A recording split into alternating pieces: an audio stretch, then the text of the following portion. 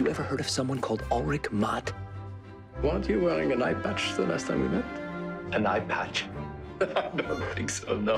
When may I see you again? You are aware that I'm married. You let me know if anything changes.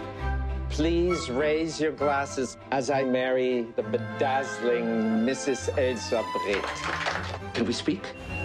No, not on the telephone. That's not prudent. Who are you talking to? Shut your face! There will be time for tears and remembrance. No, there's urgent work to be done. What work? I must find and bring to justice the men who killed your mother and my wife. Why did you leave the house on the night of your wife's death? For a walk. You're late. Do you remember your feelings when you learned that your mother was planning to marry Mott? Shock, horror, disbelief. He looks like he could be my brother. Try to get to know him before you condemn him. She left him $250,000. A few months ago, she disinherited him. Am I under arrest? Not at the present time. My mother gave him money, propped up his so called career. In exchange, he cooked her meals. They gave her an excuse to keep having Georgetown parties. It was a marriage of mutual exploitation. You are the perfect butler.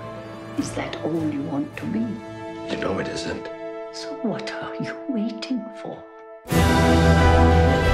Urgent from Ulrich Mott, Villa Zarathustra, Sadr City, Iraq. Authorized the embed of a German national with the Mahdi army? Nobody. Diplomacy is the art of telling people to go to hell in such a way that they ask for directions. The more I find out about this guy, the less I understand. Every word he says is a lie. You stink of alcohol. you reek of the grave.